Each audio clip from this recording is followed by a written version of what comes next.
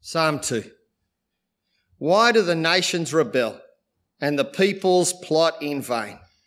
The kings of the earth take their stand and the rulers conspire together against the Lord and his anointed one. Let us tear off their chains and free ourselves from their restraints. The one enthroned in heaven laughs. The Lord ridicules them. And then he speaks to them in his anger and terrifies them in his wrath. I've consecrated my king on Zion, my holy mountain. I will declare the Lord's decree. He said to me, You are my son. Today I have become your father. Ask of me, and I'll make the nations your inheritance and the ends of the earth your possession. You'll break them with a rod of iron. You'll shatter them like pottery. So now, kings, be wise. Receive instruction, you judges of the earth. Serve the Lord with reverential awe and rejoice with trembling. Pay homage to the Son, or he'll be angry and you'll perish in your rebellion for his anger may ignite at any moment. All those who take refuge in him are happy. This is the word of the Lord. Thanks be to God. Sin creates fear. Let me say that again. Sin creates fear. Our sin creates fear when you think about it on a personal level, on a community and relational level, on a social and political level. Sin creates fear. Now think back to that first sin, uh, the one described in Genesis 3, which we dealt with back in 2019 in our series on Genesis. As the Lord walks in the cool of the evening in the garden, as the Lord calls for the man and the woman he made in his image, when he'd placed them in the garden that he had planted, to whom he'd given good instruction, how did the man respond when the Lord said, Where are you? I heard you in the garden, and I was afraid because I was naked, so I hid.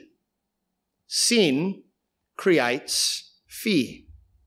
Sin creates fear on a personal and relational level because I want to be God, you want to be God, and neither, neither of us want God to be God.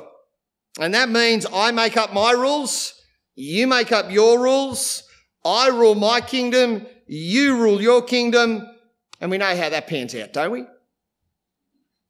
We know how that pans out. We saw it with Adam and Eve when they had to leave the garden. Their relationship was damaged and fearful because they both wanted to be God. Sin creates fear on a communal and relational level because each community, each society is full of little wannabe gods. And each community wants to define how life should and must be. And then that community works on us and we work on them and we affect each other's desires and aspirations and we compete and we compare and we get fearful and our anxiety rises. Sin creates fear on a social and political level because now each society run by little wannabe gods competes against the other. And you see how the cycle continues? From personal relationship to political relationship. And the end result is very clear. The good life is removed, damaged, and warped because sin brings fear. The good life becomes the not so good life. Living the dream becomes enduring the nightmare. It's sugar coated, but we often drown under the fear and competition, comparison and anxiety that this broken world brings. There's only one logical conclusion, reasonable conclusion. If sin brings fear, then we can only have the good life when the sin that causes fear is removed. We can only have the good life when the rule we need replaces the rule we want. In essence, the good life comes when we ask this question Where can I find God and His rule? Let me pray, and we're going to look at that in a moment. Father, thanks for your word. Uh, Father, it's a really strange time at the moment where a household can't meet together. Uh, we're split up over a number of different locations. Uh, we're gathered in big and little groups on our own or with others. Uh, Father, we recognize the truth that sin causes fear. We recognize that we often live lives driven by competition and conflict and comparison, which can lead to fear and anxiety. Father, please bring us face to face with your King today, the one who removes sin and so removes fear. In Jesus' name, Amen. Now, last week we began our series on Psalms by getting our bearings. Remember that? Uh, kind of that image you get when you climb to the top of Kaputar and work out where you are. Uh, it's worthwhile doing that again today before we go on any further. Uh, as we deal with this passage, it's worth reminding ourselves that the twin pillars of God's people have always been this God's word and God's rule. It was a case in the Garden of Eden. It was a case throughout Israel's history. It's still the case today. And last week we saw that the goodness of God's word, his Torah, was the soil for the good life. This week we turn to the other pillar, God's king, God's rule. And we get a connection between those two, God's word and God's king, when God first talks about his king in Deuteronomy chapter 17. Let me read to you from Deuteronomy chapter 17, verses 17 to 20. This is a description of what the king is like. When he's seated on his royal throne, he is to write a copy of these instructions for him. He is to write a copy of these and read them in the presence of the priests, is to remain with him. He is to read from it all the days of his life so that he may learn to fear the Lord his God, to observe all the words of his instruction and to do these commands. For God's people, God's word and God's rule go hand in hand. And when they're hand in hand, there's the good life. I want you to remember from last week that God's people have returned from exile. It's the early 500s BC. They'd been kicked out of their land because they decided they knew better than God. And God removed them from the land that He had promised. And now they've come back. But they've come back diminished and disappointed. The borders are smaller. That image of God living with his mob, the temple is smaller. They don't rule themselves and they live as a province of the great Persian superpower. And in that climate, the book of Psalms is compiled. It's put together. It's made up of songs composed across the history of God's people from the time of Moses to that present day. And when God's people put together this songbook for themselves, they're asking themselves these questions Where's the good life? And where is our God? The introduction is Psalms 1 and 2. Last week in Psalm 1, we saw that the good life is found in the Lord's instruction. We saw that Jesus is someone that if you're connected to him, you've got the good life. And this week we look at that other pillar, the rule of God in Psalm 2. Psalm 2 was a common song. It wasn't written for the book of Psalms. It was actually composed a long time before for whenever there was a new king. It was the song sung when that new king was put on his throne. And that new king always came from the family of David.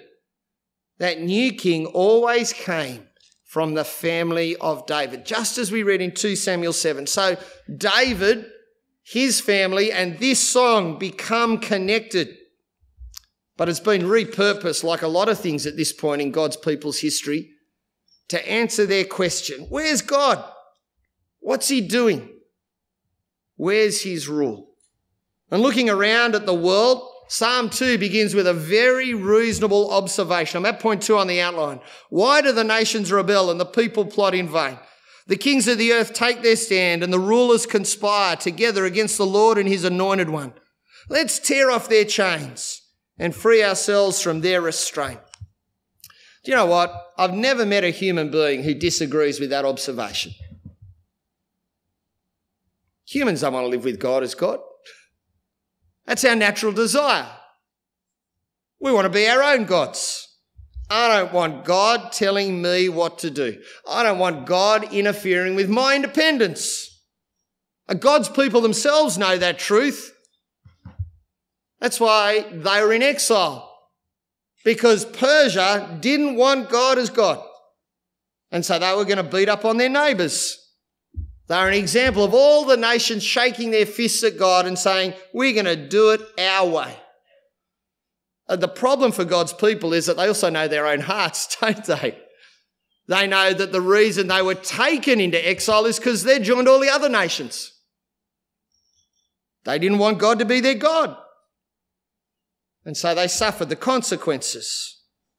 And as they look around their own society, that realization works on every level from households to councils to communities to nations, kings, and rulers. Everyone, by their nature, wants to shake their fist at God and break free, to be their own gods. But it's an illusion, isn't it? It doesn't create freedom, it just creates fear. It creates fear on a personal level because others want to be God. And your two kingdoms are going to clash, aren't they? Over big things and over little things. It creates fear in society because all your relationships become frayed and damaged, competitive, and you're always comparing your kingdom to the kingdom next door. And it creates fear politically because every little nation wants to be boss. And so, as God's people return from that exile, knowing their own hearts, knowing how diminished they are, knowing what all the nations around them are like, they're consumed by fear. You, you read it time and time again through the prophets that speak at that time. They look at the world around them. They fear its fist shaking at God. They fear their own tendencies. Where's God in all of this? Where's his rule in the face of the aggression of others and in the face of my own heart? I reckon most of us have felt that fear at some point, haven't we? Well, let me reassure you God is where he has always been. The one enthroned in heaven laughs. The Lord ridicules them. Then he speaks to them in his anger and terrifies them in his wrath. I've consecrated my king on Zion, my holy mountain. I'm at point three. I suspect, like God's people back then, we lose sight of this reality. God is where he's always been. And he looks at our aspirations to be God and he laughs. He laughs. He looks at our rebellion and our fist shaking and our warmongering and he laughs. Imagine those humans wanting to be God. Uh, you see it back in the Tower of Babel, back there in Genesis where humans are aspiring to build this massive tower up to the heavens that's going to dominate the world. And what does God say? I, I better go down and look at this little tower. That's how significant their rebellion is. I think, and this is a reasonable counterbalance, I think we get so enamored by God's mercy and grace that we forget his wrath at human sin. We bear God's image. How dare we think we can be God? Our sin is aspirational, but it's never original and it always fails. And when we look at the magnitude of God, we see the smallness of our own aspirations to be God. And God's response is now. Did you notice the tense there in Psalm 2? This is how God responds now. I suspect that when God looks at my efforts to be God every day of the week, he just shakes his head at Bernard and laughs at his stupidity. It's even more stupid when you realize that nothing we have done has derailed God's plans, stopped his designs. He's always had his chosen ruler enthroned. Did you notice the tense there in verse 6? I've already achieved this. As Ben pointed out, this has always been God's plan. Nothing any human being can do will replace the rule of God. It's an established historical fact. Our sin mocks God, and God just looks at it and laughs. But let me tell you, there is reassurance here. As God's people stand in that diminished land, returned from exile, they're reminded that God's king is already seated on the throne. No matter how big Persia looks, the nations rage, even God's people sin, but God's king sits firm. For God's people return from exile with no king, with only a public servant running their rebuilding projects. That's an encouragement. God had promised them a king in 2 Samuel 7. And God said that promise stands firm. It's not moved. It's not revoked. It's not declared null and void. God rules and so does his king. And here is a truth we need to understand. We think we're kings, but God's king is already there.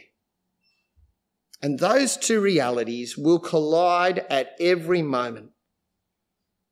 The mess we live in proves that we'll never succeed at being God. But I guess the question that's posed is do we actually accept that? Moreover, if our endeavours to be God fail dismally all the time, what kind of king has God put in place? Well, we get a switch there in verse 7, don't we? I'm at point four on the L, and I hope you notice the switch. It moves to first person. I will declare the Lord's decree. He said to me, You're my son. Today I've become your father. Ask of me, and I'll make the nations your inheritance, the ends of the earth your possession. You'll break them with a rod of iron. You'll shatter them like pottery. We're now getting a soundbite. Don't you love sound bites? Sound bites are great. They really distill everything into a neat understanding. Uh, sure, you can manipulate them and change them, but that's not the case with God's soundbite, and we get a soundbite from God's King. We get two facts about him. We get the fact of his identity. Did you see it there in verse 7? The king that God has enthroned is who? It's God's son. Just like he said way back there in 2 Samuel 7. God's son is the king, just like he had promised. And we also get the extent of his power. That's the second fact. Did you see that there in verses 8 to 9? The power of this king is granted from God and it has no limit and no rival. There is no viable option that can stand against God's king. Nothing. Uh, on the one hand, there's a reassurance there. As a small province of the Persian superpower, ruled by Cyrus, who was so far away and so fearsome and fearful. Well, God's king's there, and no one can stand against him. On the other hand, it's a confronting truth because it confronts the hearts of God's people who want to be kings, who want to be God, who want to rule themselves. It confronts their own trust as they deal with the world around them. This is the broken world, but know that the King, God's Son, is enthroned. And so they've got a decision to make, God's people. They've got a decision to make, and it's a decision mapped out in verses 10 to 12. I'm at point five on the outline. So now, kings, be wise.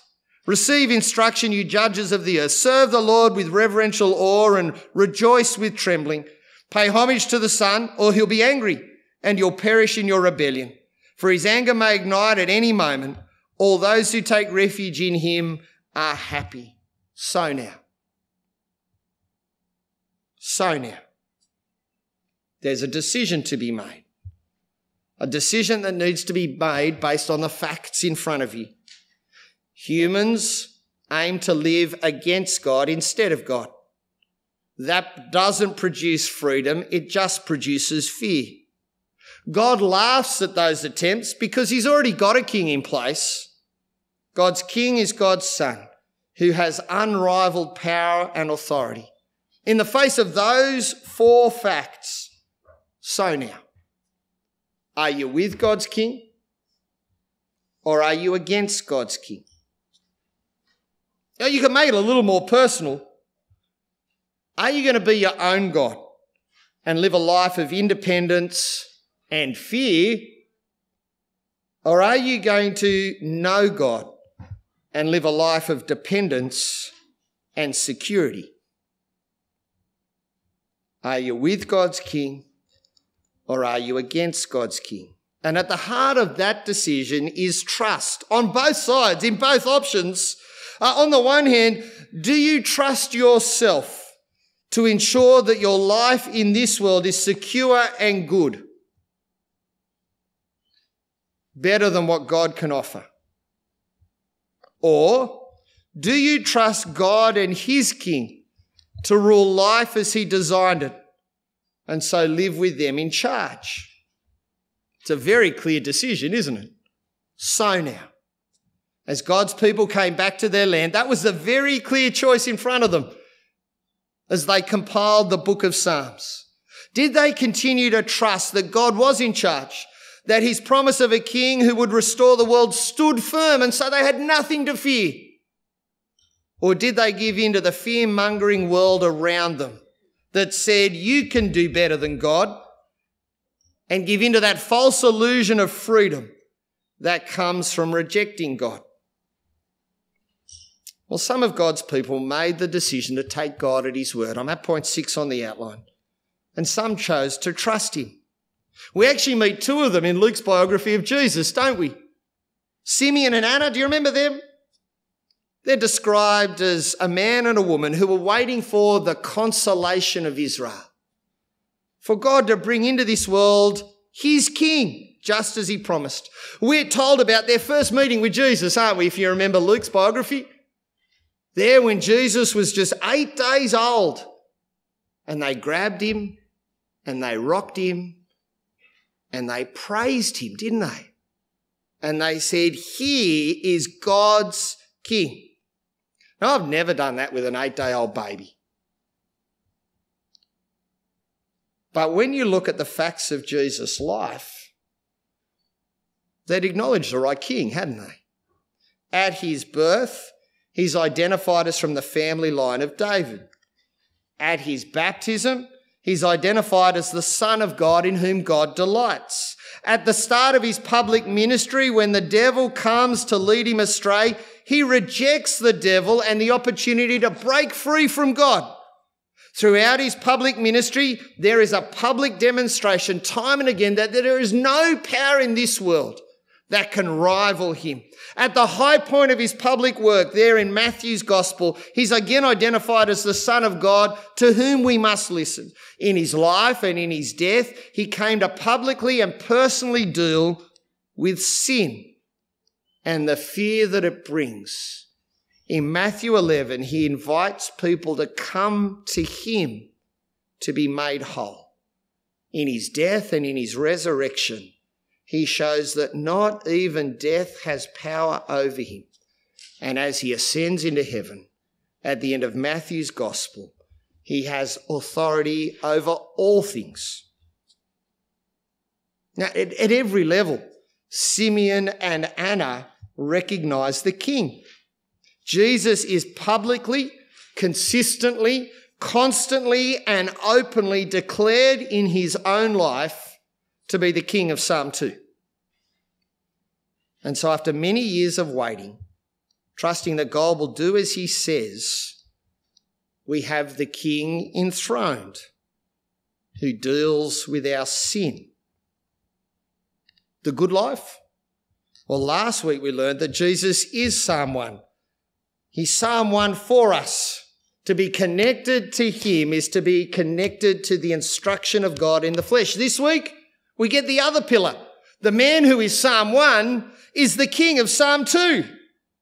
Just like God said in Deuteronomy 17, Jesus is God's son who has unrivaled power. To put it simply, the good life is found in Jesus. the man who is Psalm 1 and Psalm 2, the instruction of the Lord in the flesh, and the king who has no rival, not even death. So, what does that look like for us as God's people now?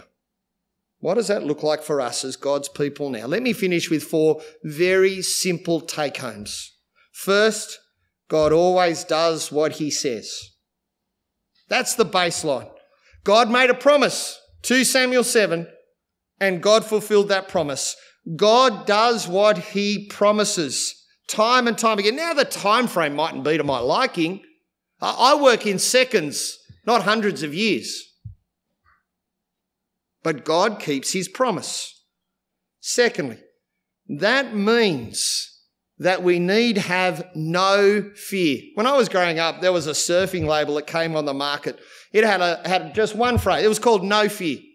Everyone was wearing it. I, I suspect people wore it because they thought it would give them no fear, but it actually didn't work. Let me reassure you. I experienced fear wearing that label. But we want to live a life with no fear, don't we? Don't we want a life where we don't have to fear anything or be anxious about anything? If we're going to have that life, we've got to deal with that first question or statement that we began the sermon with. We've got to deal with sin because sin brings fear. And we've just seen very briefly that it is God's King enthroned who deals with sin for us. That was Jesus' whole reason, wasn't it? To live, die, and rise for our sins. So if we are people connected to Him, our sin is dealt with and we need have no fear. We don't need to fear the world's superpowers. We don't need to fear what other nations will do. We don't have to fear what other people will do. We don't have to fear the world we live in because we're connected with the King who death can't even beat. So let me encourage you to live with no fear because you're connected to the King of all things and your sin has been dealt with. That leads to the third idea. And it might seem contradictory, but I think it works. Get the right fear. Get the right fear. Did you notice that there in verse 11? Treat Jesus with reverential awe. He's not an exclamation. He's not a space filler in a conversation when you don't know what to say. He's not a swear word. He's not your big brother you put your arm around and punch on the shoulder. He's the king of the universe who's dealt with your sin. So treat him with reverential awe, the right familiarity, but also the right honour. And please, and this is the fourth point, please take refuge in him. There are so many options for refuge in this world. Work harder. Create a great family. Enjoy your sport and leisure and take refuge in them. And if none of them work, try some substances. None of them will provide refuge or removal of fear. Only when you actually do business with God and His King will the source of your fear be removed. So let me encourage you live the good life, be connected to Jesus, who is God's instruction in the flesh and the King who has beaten our sin. And please take refuge in Him. Let me pray. Father, thanks for your word. We don't often live our lives with songbooks, but this is a great songbook, especially for your people. Father, thank you for Jesus, who is your instruction in the flesh and your King who removes fear. Please help us to remain connected to him. Amen. Any quick questions? Drinder. So for those at the back, Drinders, uh, those at home, Drinders on my left.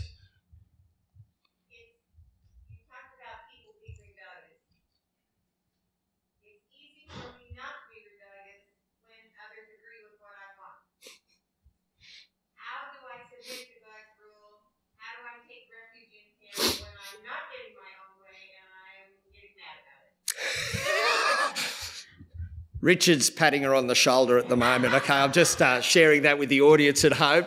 Uh, so uh, let me just get the question How do I take refuge in God? Is that right?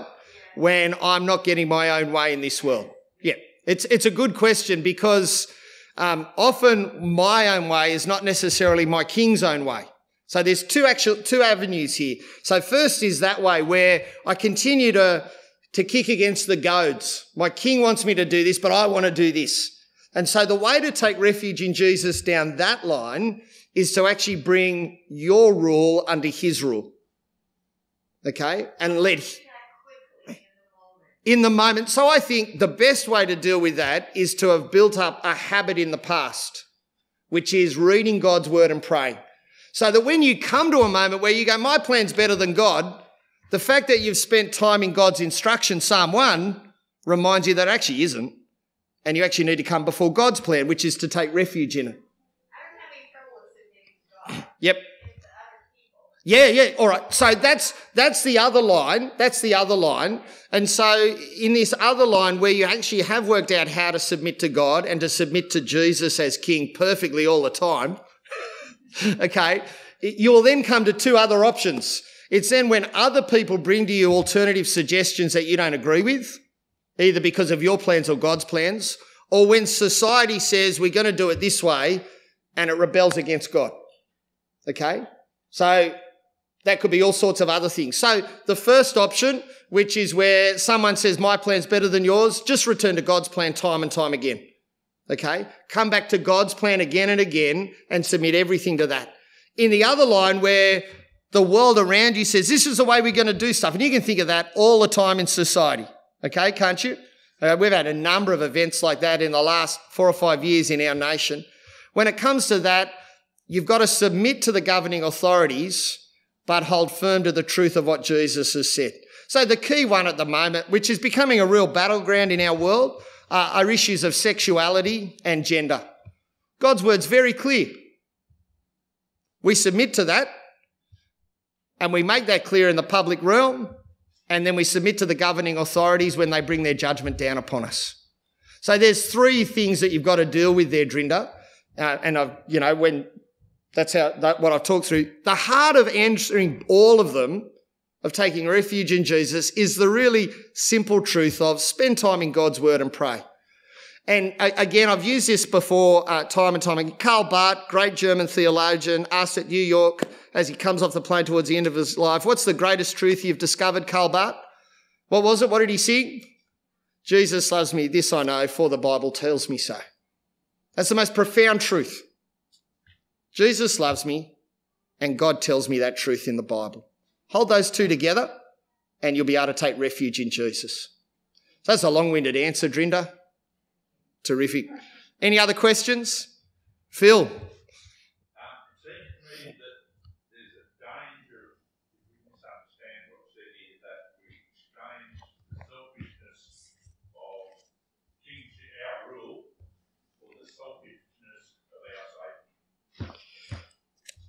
So I, I, want to be safe eternally, and so I'm just going to hold on to Jesus. Is that right? Yeah. Without, is that like, yeah. Yep. Yep. So Phil's question. Yeah, so Phil's question is we're in danger here of exchanging our selfish rule with our desire in our selfishness for safety eternally. Uh, you could view it that way. And, and if you do it that way, you've not submitted to Jesus as king. You've just submitted to Jesus as a really good insurance policy. Okay? When you submit to Jesus as king, what does he say he'll do to you? Well, Matthew 11, he'll make you whole, which means he's going to do some really tough woodwork on you. He'll use some really coarse sandpaper at points and some really gentle stuff, but he will transform you if he really is your king. So your selfishness will be changed. It might have driven you to Jesus at the start, but you'll see change over time as you come to reflect Him better. So, does that answer your question, Phil? Yep. And I think that, that again ties in with what Drinda was saying. The key way that happens is how? Read your Bibles and pray. Yeah, it's that really that simple. Yeah.